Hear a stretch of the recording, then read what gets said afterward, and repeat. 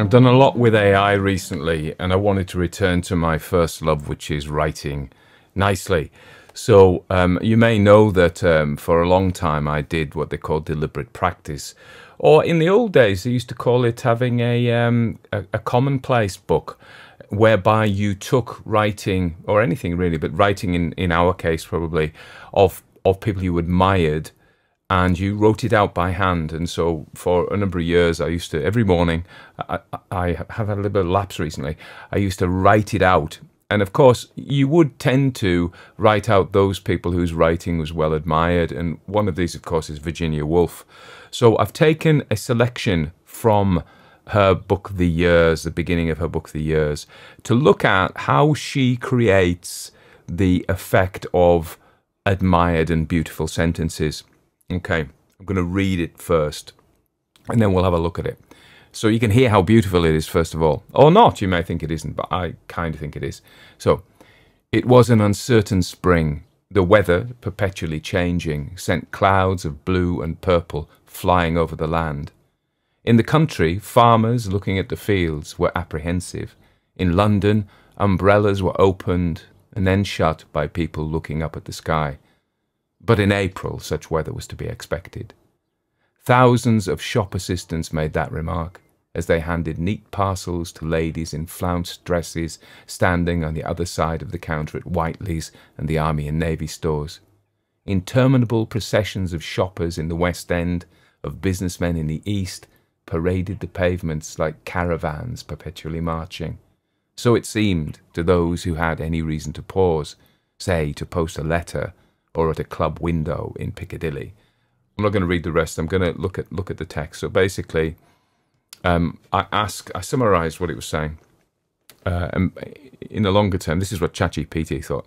Uh, the passage describes the unpredictable weather of spring in London, with farmers and city goers alike feeling uncertain. Despite this, the season brings a bustling atmosphere to the city, with shoppers, carriages, and musicians filling the streets. I didn't get any musicians.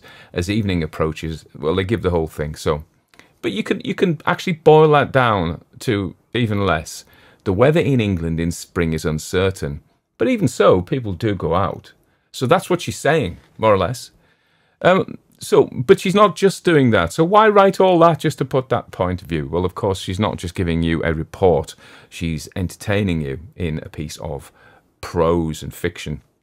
So, the thing, one of the things she's doing is drawing you in uh, and it's using a rhetorical device called enargia, which uses sensory description, and it's only um, really visual. There's no smell, there's no sound in that one, and you may have been encouraged in your creative writing classes to use both of those, and I think they do work. But Virginia chooses not to. So, but she uses sensory description. She's showing you what's happening to provoke perceptual responses in readers and listeners as if they were there. So the one weird thing about human beings is when we get a stimulus of, say, we go to the movies and we see a war film and we get all riled up, or we see a love film, we feel, oh, or we see a horror film and we're like, ah, you know, these things aren't really happening. But the, the uh, simulation, the simulation of the sensory inputs, so we don't really see Dracula uh, but we we it's as if we do, and we get all those emotions, and we you know um, there we are. So and this is how art works really. So um, so now through Virginia Woolf's writing, you are wherever you are, you were you when you listen to that, you were partly in London in spring at the beginning of the 20th century, probably about 1920s, and not only that, as I say, you're now upper middle class if you weren't before. But the other thing that she's doing, as well as the uh, drawing in with the description, is through music.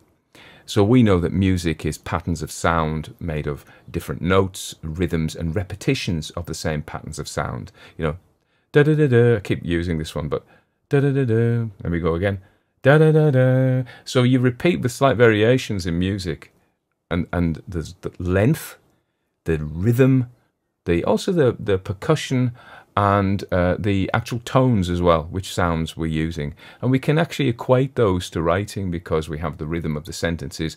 We have the sounds, the notes are like the sa, ba, da, ka. You know, we repeat those and uh, we can do those. And remember how music, even without words, can take us away to far off places. So she's doing that. She's using the music of her sentences as well as the uh, visual imagery of her sentences, and by both of those things, she's transporting you to London um, in about 1920. The other thing she's doing is, um, which I thought was interesting, is uh, she's she's using impersonal construction, so it's very passive. So it talks about we're not seeing through anyone's eyes in particular. It was not I thought it was, or my mum told me it was. The only thing that has an active role in this is the weather sending the clouds, and we have farmers, ladies, shoppers, businessmen, pigeons, even no one in particular, everyone in general. So this is the camera's eye, isn't it? The camera has no emotional interest in what it sees, so we've got distance. We're hovering above like a drone now, looking down. The camera doesn't care who does what, and it's a cinematic view. Now, interestingly, um, Virginia Woolf had things to say about the cinema. She wrote an essay called The Cinema in 1926, and she'd seen the 1920s German expressionist film The Cabinet of Dr. Caligari. And in, this essay, The Cinema, which was published in a magazine, she said, We behold them as they are when we are not there. We see life as it is when we have no part in it. As we gaze, we seem to be removed from the pettiness of actual existence. The horse will not knock us down, the king will not grasp our hands, the wave will not wet our feet. Further, all this happened ten years ago, we are told. We are beholding a world which has gone beneath the waves. And that's what she's done there with that. Okay, that's all I want to say about that. I want to now look at the sentences themselves. It begins, it was an uncertain spring. So we've already said things about passivity. Let's not talk about that anymore. A short declarative sentence. So a really useful trick in writing is short sentence. You probably know this. Long sentence, long sentence, long sentence, short sentence. Hear the rhythm? Even when I'm saying it like that. The rhythm, okay? It was an uncertain spring. And another technique is that the last word, you can vary this, but if you have the last word of a short sentence as a monosyllable, spring, it's it's more like a, think of drums, boom. It's a drum beat, spring. Okay, boom. Now, if we used a, a stop, this is n is a nasal, isn't it? So g is a stop, but um, is a nasal. So because it, it goes on, doesn't it? It doesn't stop. So if we'd said it was an uncertain god, it was an uncertain dog, you know, it's more bangy, it's more percussive but um, spring will do. So she brings that, and then she goes a longer sentence. The weather perpetually changing sent clouds of blue and purple flying over the land. What she's actually saying there, the information she's conveying is the weather sent clouds over the land. She says something about the colour. It's additional information. So that's the main clause. The weather sent clouds over the land. And now she adds information in it. And I call this an interrupted sentence because we have the main clause interrupted by sub-thoughts, which are often phrases. They can be clauses, but they're most often phrases in that. Um, yeah, a phrase doesn't generally have a verb or a subject. A clause has a verb and a subject, a phrase doesn't. So the weather, which was perpetually changing, sent clouds, which were blue and purple and flew by over the land. You know, so it's the rhythm she's doing it for. You needn't say it like that. She needn't have said the whole thing. Uh, she could have said, uh, the weather sent clouds over the land which flew by and were blue and purple. You know, so you could add all of that at the end, but she interrupts the main clause, and I think she does it for stylistic reasons, for for the rhythm. Okay, so um, and very long, complex interrupted sentences were produced by such writers as Henry James and William Faulkner. In fact, people have criticised Faulkner's sentences as being almost uh, ununderstandable, incomprehensible. Uh, but it was a very Victorian thing to do. Uh, you know, the Victorians loved long words. They loved to show off their erudition by using obscure words and uh, throw in loads of words that nobody would understand and make their sentences extremely complex. It was almost like a, uh, an intelligence test to understand them. And then, of course, Hemingway comes along and long sentences fall out of fashion. But the truth is, short sentences and Hemingway type prose, which you will get rammed down your throat by Grammarly and all these people telling you how you should write, uh, it's just a fashion. So short sentences and simple prose is just as much a fat fashion. And Hemingway was great. It, it works, but also there's nothing wrong with long, uh, complex sentences like this. And I think these interrupted sentences add a rippling, darting rhythm. And they work really well, as I said before, when you mix them with, you alternate them with short, simple sentences. Don't alternate them, ideally short, long, long, long, long, long, long, long, long, long, long, long, short. That's better rather than, or you can do short, short, long, short. You know, mix them up, see what it sounds like. So, next sentence. In the country, farmers looking up at the fields were apprehensive. In London, umbrellas were opened and then shut by people looking at the sky. So, we've got two sentences joined by a semicolon. You could have put a full stop, but the semicolon or a period, the full stop or the period is a harder stop. Think of crotchets and quavers. Um, that measure the length, that show the length of a note.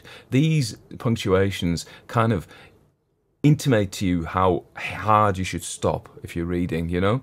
So in the country, comma, pause, little pause, looking at the fields, comma, were apprehensive, semicolon, longer pause. In London, umbrellas were opened. You see, you could ideally uh, I think Grammarly would actually make you do in the country, comma, farmers, comma, looking at the fields are apprehensive. In London, comma, because it wants um, adverbial phrases always to be, introductory adverbial phrases always want to, them to be followed by a comma. That's what Grammarly says.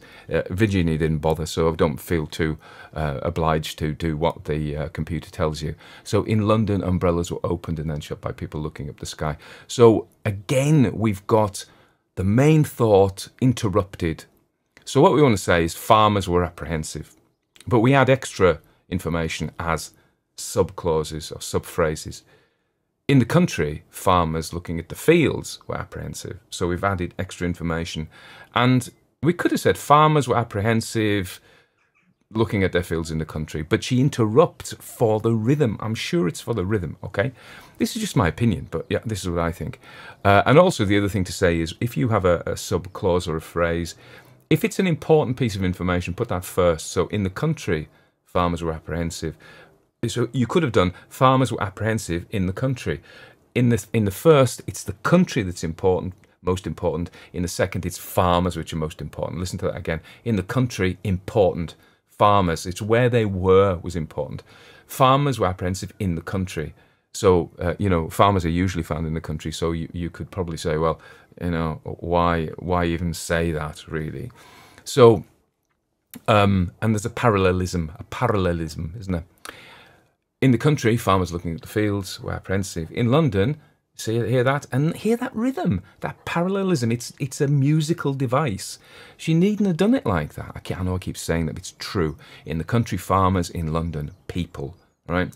If we were to write it out in a more fully parallel way, because it's not, because it's in the country clause, looking at, in the country clause, farmers, which is a subject, looking at the fields, clause were apprehensive. In London, umbrellas were open. That is not the subject. People is the subject. So she's, she's, it's not completely parallel. If we were to write it completely in a parallel way, we might be, in the country, farmers looking at the fields were apprehensive.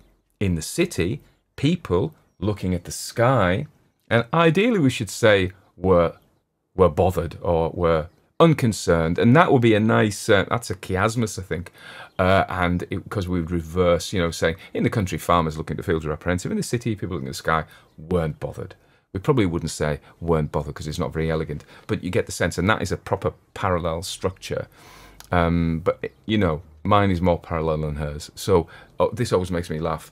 Uh, I am not. I'm not saying that I am. Uh, I'm better than Virginia Woolf at writing sentences. I'm just kind of taking her sentences. I wonder how explicit she was when she was writing. Whether she actually was thinking, right, yeah, I'm going to do parallel structure here.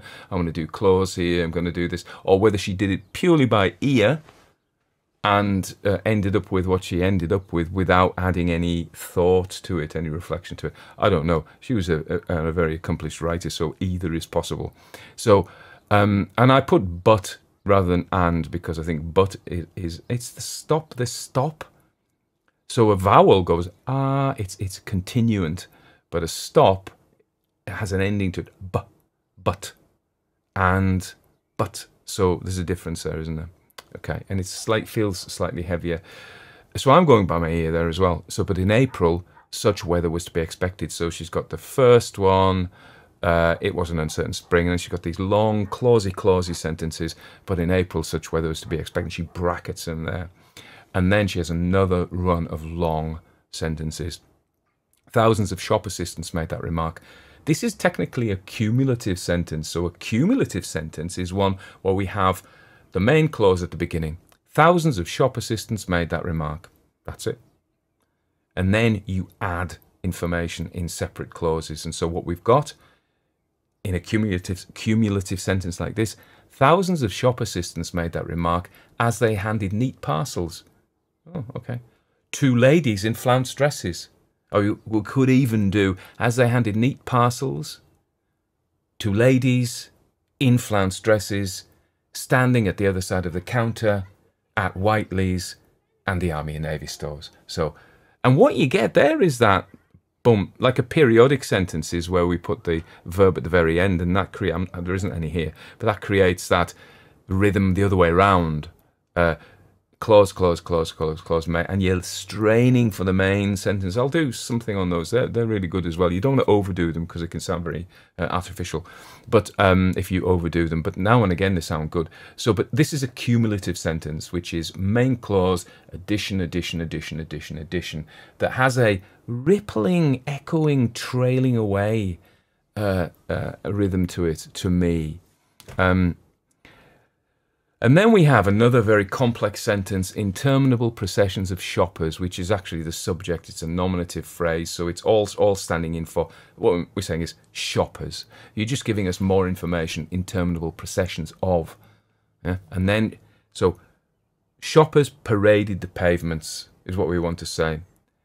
So shoppers and businessmen paraded the pavements. Shoppers in the west, businessmen in the east paraded the pavements. Interminable processions of shoppers in the West End, of businessmen in the East, paraded the pavements. So, what we're saying, there's interminable processions of businessmen as well. So, you see, there's a parallelism there as well of shoppers in the West, of businessmen in the East. It's not done by chance, it's deliberate.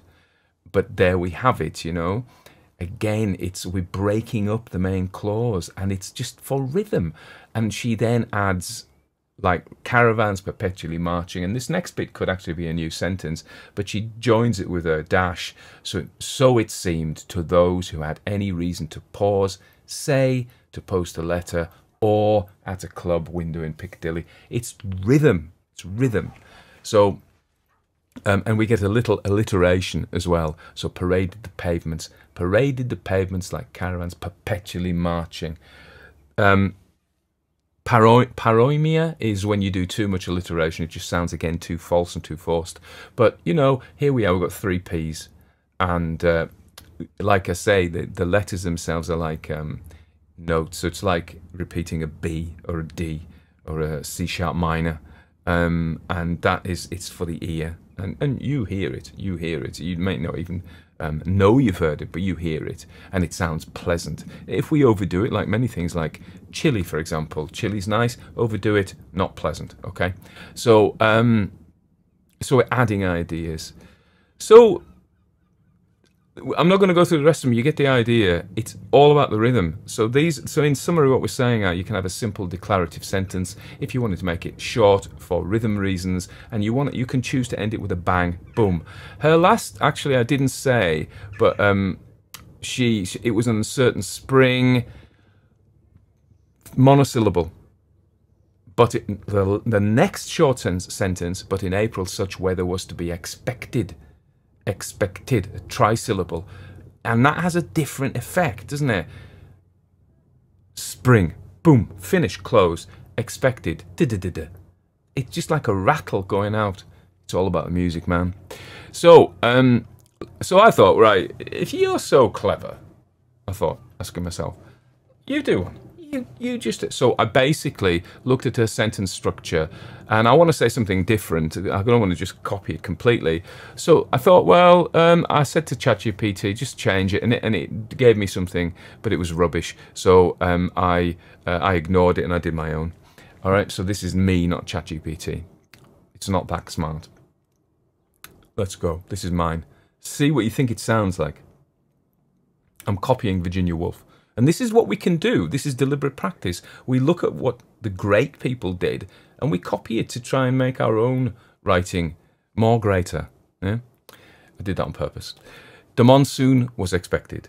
The rain clouds, vaguely gathering, promised a deluge of monumental proportions over both city and country alike. In their fields, farmers watching the sky were unsettled. In the city, businessmen remembered umbrellas and joked of rain. But in June, such rain is to be expected.